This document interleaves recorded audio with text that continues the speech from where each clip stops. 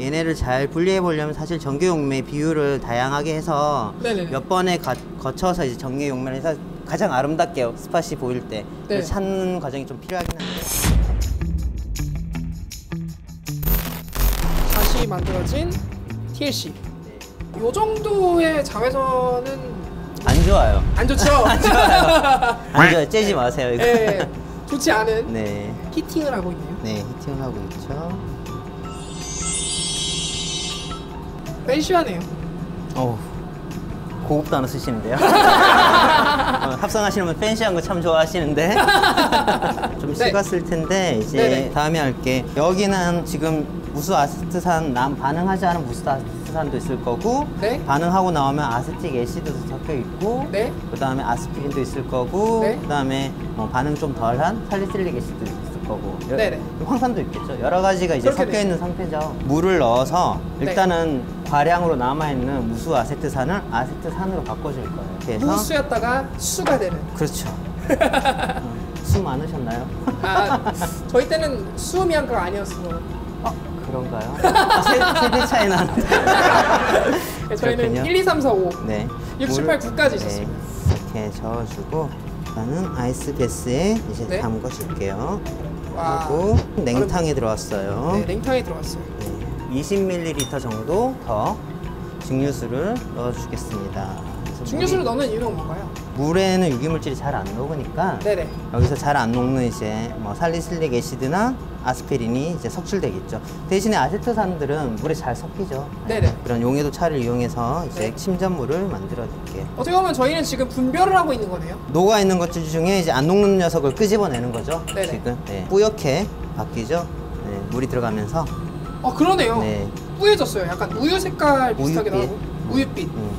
우유 빛깔? 뭐 이런 비슷한 세대인 것 같긴 한데. 이게 지금 아이스백스 안에 들어가 있잖아요. 네네. 여기에서 이제 뭔가 온도가 낮으니까. 아, 사실 이게 결정이 네. 생기는 용해도가 더 떨어지겠죠. 아, 용해도가 떨어지는. 네, 온도가 낮을수록 용해도가 떨어지는 떨어지는 그러네요. 거죠. 그래서 일부러 강제로 온도를 낮춰서 음. 물에 더 안 녹게. 네, 그렇군요. 그렇게 만들어주는 거죠. 요리 프로 많이 보셨나요? 요리 프로예요. 네. 옛날 요리 프로 보면 끓이다가 옆에 가면 다 끓여놓은 거 나오죠? 아, 맞네요. 쿠키님 시간 바쁘시니까 제가 미리 미리 결정이 석출되어 있는 거 준비해놨습니다. 아, 이렇게 좋네요. 아, 이렇게 네, 우리- 이렇게 오래 두면 네. 이렇게 하얀색 결정이 네네. 플라스크에 이렇게 석출이 돼요. 와, 네, 그러네요. 네네. 잘 석출된 결정을 보고 계십니다. 지금. 결정을 보고 있습니다. 저희. 네. 그 다음에 필터를 해야죠. 감압 필터인가요? 그렇죠. 여기는 여기서 감압을 하고 필터에 이제 고체가 걸러지겠죠. 저희가 약간 실험은 지금 다양한 실험들을 하고 있지만 이용되는 도구들은 굉장히 비슷하고 비슷하죠. 네네. 그렇죠. 여기 화- 반응 화학 반응에서 적어도 케미컬을 다루는 데서는 좀 비슷한 것들 많이 사용하죠. 음, 네. 역시나 감압 필터를 네. 설치를 설치를- 하겠습니다. 해줘야 되고요. 감압을 해야 되니까 호스를 네. 또 연결해주고 진공 펌프를 연결을 하고 네, 진공 펌프 하도록 하겠습니다. 걸러보겠습니다. 네, 필터 해주세요. 넣을게요. 네, 부어주세요. 와, 우와, 굉장히 역시나 빠르게 네. 아래쪽으로 빨려 들어가네요. 와, 남아있는 거는 증류수로 한 번더 네. 벽면에 남아있는 것들을 씻어주시고요. 여기 있는 걸 증류수. 네.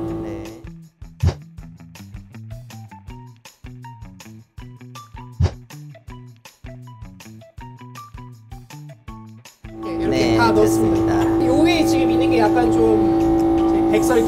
백설기. 맞습니다. 백설기 같은 하얀 눈 같죠? 네, 눈 같네요. 아, 눈 같죠? 아래쪽으로 빠진 거는 지금 이제 여기에는 이제 아세트산, 그 다음에 뭐 물, 네. 이런 것들, 황산, 이런 네. 것들이 이제 밑에 뭐 다양하게 섞여 있겠죠. 여기서 다시 모아서 이번에는 재결정을 한번 해볼게요. 제 결정이에요. 네. 남아있는 살리실산을 완전히 이제 제거하자는 거죠. 얘네들이 따뜻한 물에는 사실 다, 둘 다 잘 녹는데, 네네. 에탄올에 대해서는 용해도 차이가 좀 발생을 해요. 살리실산이 에탄올에 더 잘 녹아요. 더 잘 녹아요. 네, 그래서 에탄올에 녹인 다음에 네. 물을 넣음으로 해서 에탄올을 전체 용액 비중 중에 에탄올 비중을 줄여 나가는 거죠. 아, 줄여 나가는. 그래도 잘 녹는 살리실산은 잘 녹아 있을 거고 네네. 잘 안 녹는 아스피린은 이제 물에 석출되어 나오겠죠. 아. 그렇겠네요. 저희 감압 필터를 이용해서 걸러낸 네. 네. 녀석들을 지금 삼각 플라스크 쪽으로 옮기고 있습니다. 아, 하나 나오겠는데요? 한 알 요즘에 저희가 소염 진통제를 먹는 게 500mg 저희가 지금 원리적으로는 2.52 그램이 그러니까 이제 거의 얻어져야 이제 되죠. 500mg으로 봤을 때 저희 한 다섯 알 정도 그러네요. 엄청나네. 옮겨 담았습니다. 네. 야, 이렇게 일단은 이렇게 보통 이제 crude라고 하죠. 이게 정제되기 전에 이제 아. mixture 상태에 약간 crude. 불순물이 포함되어 있는 crude product라고 보통 굉장히 표현을 많이 rough한, 하죠. 거친. 맞아요. 네, 그래서 이제 에탄올 네, 에틸. 네, 마시면 안 됩니다. 위험. 사실 술로 좋아하시나요? 술을 제가 좋아하긴 하는데 가실 때 한 병 선물로 드릴까요? 최대한 진하게 네, 네. 한번 녹여볼게요. 네, 저희는 지금 술을 뽑고 있습니다. 네, 술을 약60% 정도 되나요? 이게 194.5%예요. 와, 네. 이거는 거의 그거네요. 스피리터스. 네, 그렇죠. 그래서 제가 진하게 녹인다고 했는데 네네. 그러려면 상온에서는 녹는 양이 한계가 있을 텐데 얘를 또 가열을 해주면 네, 이번엔 용해도가 올라가겠죠. 온도가 어. 올라가면 그렇겠죠. heat gun을 이용해서 가열을 heat gun이요? 네, 토치 비슷한 건가요? 아니요, 드라이기예요.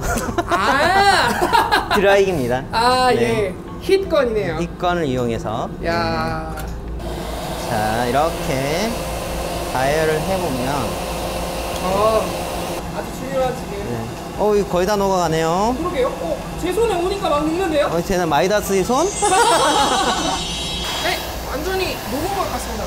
언제 다 녹았나요? 아, 이거- 어 됐어요. 아. 깨끗이 녹아졌어요. 네, 깨끗이 보이네요. 녹은? 네, 깨끗이 녹은 데다가 이제 네. 물을 조금씩 넣어 볼 거예요. 물을 네. 조금씩 넣겠습니다. 저희가 원래 이렇게 좀 물론 지금은 뭐 그렇게 뜨겁진 않지만 네. 유리가 왜 가열돼서 뜨거워졌다가 그쵸. 갑자기 이제 차가운 거 넣으면 유리 금가고 깨지잖아요. 비싼 유리라서 괜찮아요. 파이렉스라고 하는 고가의 유리를 쓰고 있기 때문에 오. 네, 강한 유리.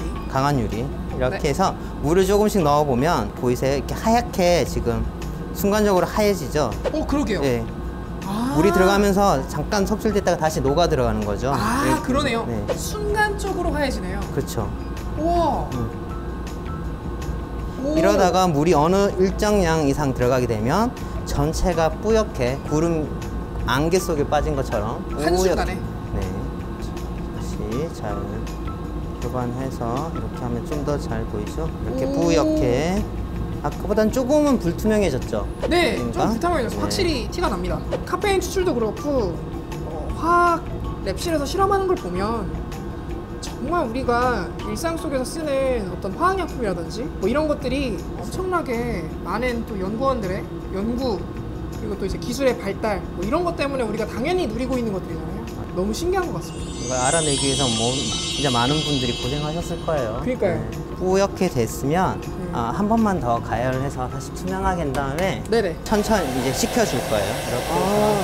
순도 높은 결정을 얻기 위해서는 빠르게 결정이 생겨버리면 아무래도 불순물들이 많이 생기거든요. 동시에 아. 생기니까 그래서 천천히 식혀주는 게 중요해요. 그래 그래야 결정도 크고 그 다음에 아. 깨끗한 고순도의 화합물을 이제 얻을 수 있거든요. 다시 이렇게 가열하면 다시 네. 투명해지잖아요. 오 그러네요. 얘를 이제 천천히 식혀서 천천히. 네, 식힌 다음에 상온까지 떨어지면 네. 얘는 냉탕에 다시 들어갈 거예요. 오. 네. 그렇게 하려면 시간이 좀 걸리죠. 네. 그래서 제가 또 미리 또 준비를 해놨어요. 아 이 정도면 거의 저희 약 파는 거 아닌가요? 아니에요. 아 사실 저희가 약을 만들고 있기 때문에 약을 팔아야죠.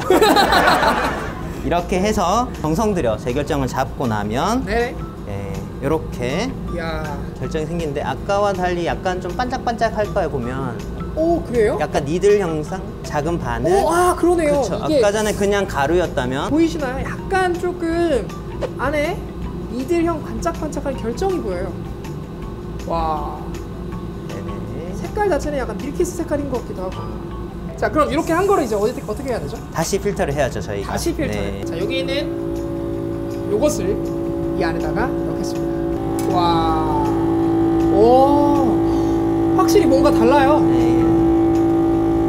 어? 약품의 느낌이 나요. 음, 확실히 뭔가 좀 약품의 느낌이 나는 것 같아요. 약간 남는 건 물로 다시 한번 증류수로 네. 이렇게 씻어서 와.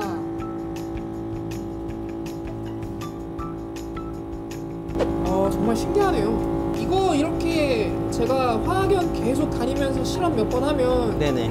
석사시요. 석사 하셔야겠는데. 탐내는 박사님들이 많으시겠어요. 자 넣겠습니다. 네. 자 이렇게 해서 다 넣었습니다. 깨끗이 워싱하셨죠.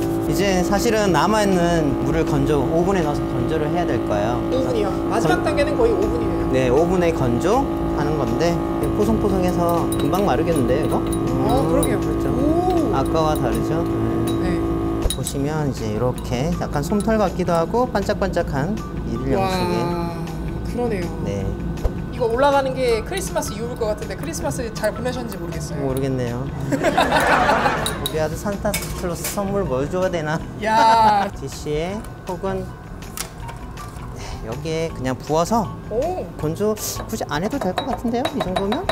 와, 이야,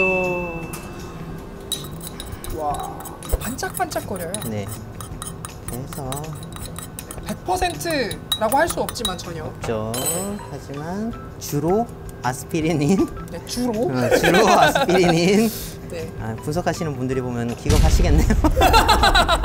주로 아스피린인 물질이 이렇게 얻어집니다. 얻어졌네요. 네, 와. 이렇게 네, 아, 뚜껑을. 또. 뚜껑까지 닫아서 네, 와, 이거 보세요. 기념품 하세요. 와 반짝반짝 굉장히 뾰족뾰족한 이들이 보이는 것 같아요 네. 자, 저 이렇게 해서 아스피린 합성 성공했습니다 야, 아스피린 박사님 합성 이런 식으로 해가지고 이제 네. 먹을 수 있나요? 이제 사드세요.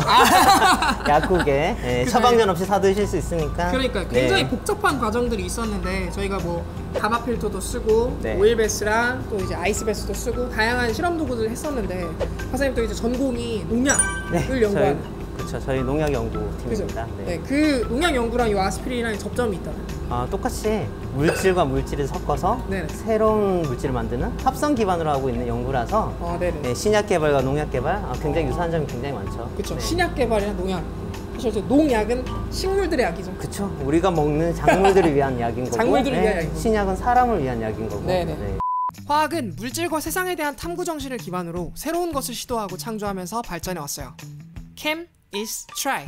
화학은 해보는 것이라는 단어처럼 여러분도 평소에 뜬금없이 하고 싶었던 실험이 있다면 영상으로 그 실험을 찍으셔서 인스타그램 is try 해시태그를 걸어서 올려주시거나 한국화학연구원 유튜브 댓글로 URL 남겨주시면 추첨을 통해 소정의 선물을 드린다고 합니다.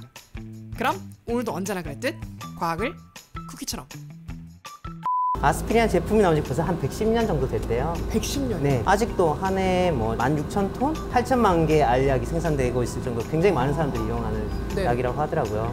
이게 처음에 개발되기까지는 뭐 굉장히 우여곡절이 많았겠지만 네네 지금 이런 그런 복잡한 과정을 통해서 네. 이제 저희가 편리하게 사용할 수 있는 꼭 네. 필요한 약이 되었죠. 야 그렇죠 아스피린 드시나요? 네. 타이레놀 먹습니다. 네 감사합니다 여기까지 하겠습니다 아 감사합니다 아, 수고하셨습니다. 네 아, 이제 이거 누가 치우나요? 얘들아.